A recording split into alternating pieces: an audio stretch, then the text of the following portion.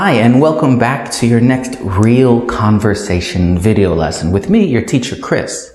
It's great to have you back, and I tell you, I am so proud of all of you. You are doing amazing in these lessons. So let's talk about today's lesson, and it's about planning. Hmm. Today's topic is going to be planning. We're going to have a conversation about planning. And you'll notice I'm talking a little bit faster because you're getting better. And I want to always keep making it just a little difficult for you so that you keep improving quickly. Now, if you're new to my channel, hit that subscribe button. If you find that my lesson is a little difficult, give me a message in the comments and I will help you find the right place in my curriculum to start. If you like my video, hit the like button and share it with your friends in your WhatsApp groups and on Facebook. So let's get started. Here's how this lesson will work. First, I will read a question and give you some time to answer me. At the end, I will answer the questions and give you my explanation for why I answered that way. So let's get started. Oh, first, Remember to write your comments, your answers to these questions down in the comments section of the video. That way I can correct them. And then take those corrected answers and practice this video again. Always practice again with the correct answers because it will sink into your mind so much better. Let's get started. Question number one. How often do you plan things and why?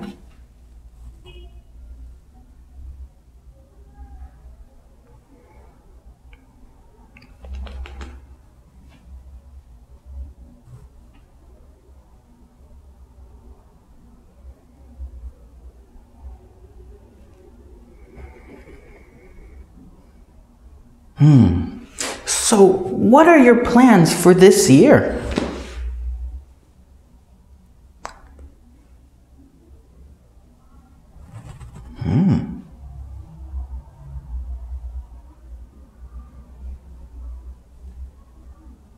What else?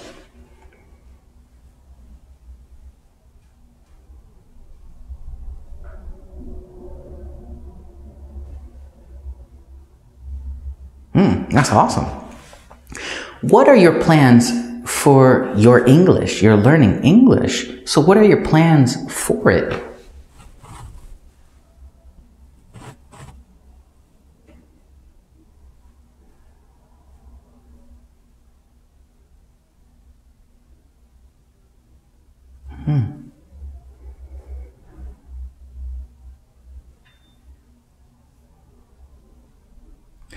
What is your opinion of this quote? Having no plan is a plan to fail. Hmm, what do you think?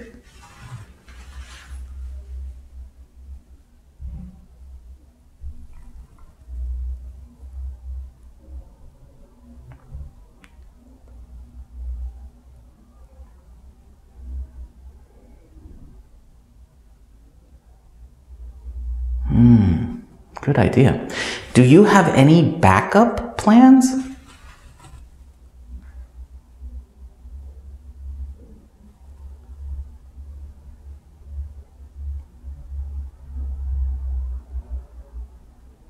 Hmm.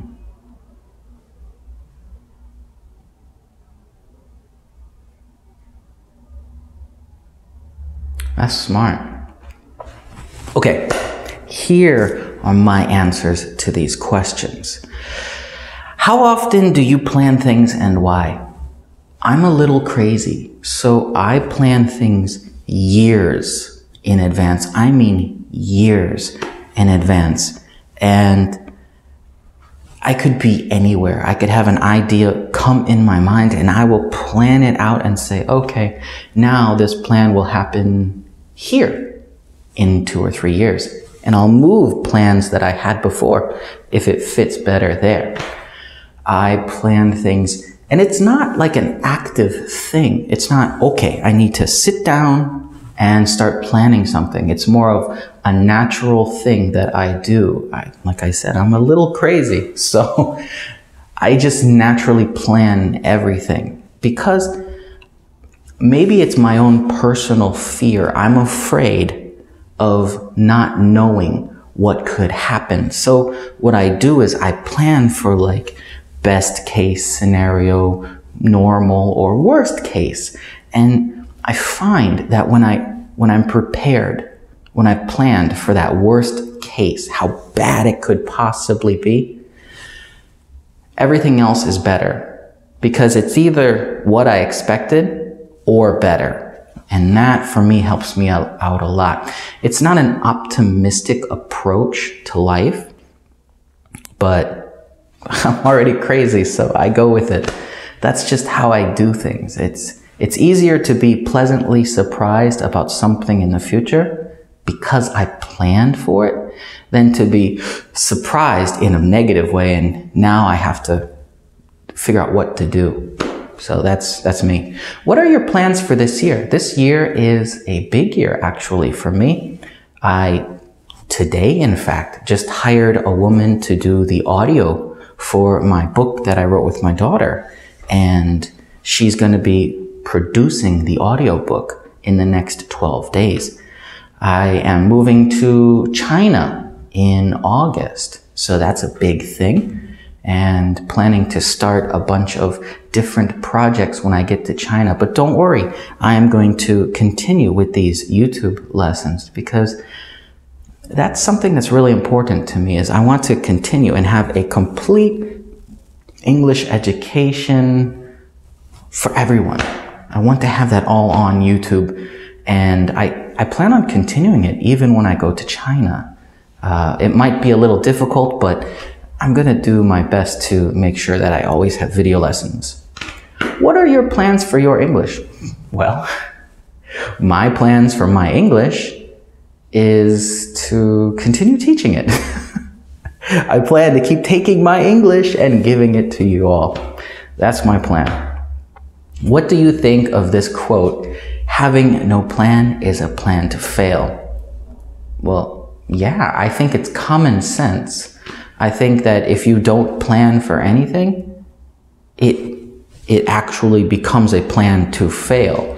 Uh, and it's it's not necessarily fail in in the complete 100% negative way. It's fail in the 0 to 100 in that negative range. Why? Because it could be just some small thing that doesn't happen because you didn't plan, or it could be something big. What I mean is, if I don't have a plan for the future, I can miss lots of opportunities, and they could be small opportunities or they could be huge opportunities. Planning helps you prepare and expect things that could happen and gives you a better chance for a positive outcome in the future. Do you have any backup plans? I have so many backup plans, but honestly, I think I should have more. Being prepared is one thing, but being completely prepared is something that's nearly impossible. I think that having a backup plan is smart. I think that having two is even better. It's one of those cases where the more backup plans you have, the better off you are in terms of where you can go in the future. Having something that's already planned, and if you hit a block, a roadblock to your future, you can, okay, here's my backup plan and go on that one. Oh no, here's another roadblock. I have another choice. So having backup plans gives you choices for your future. Yeah. Today seemed like a very quick lesson. I can't see the time on the video, but it just feels like we're getting faster. We're getting much better at having a natural conversation. So if you like this lesson, hit the like button, comment your answers down below so that I can correct them and check them. It's amazing how little I'm actually changing your answers now. It's, it's impressive and I'm very proud of you all. It's, it's remarkable how good you are doing. You're starting to see the patterns. And if you're new here, subscribe. That would be awesome for me and the channel and helping me grow so that I can give more lessons to you. Thanks for watching this whole video and I will see you next time. Goodbye.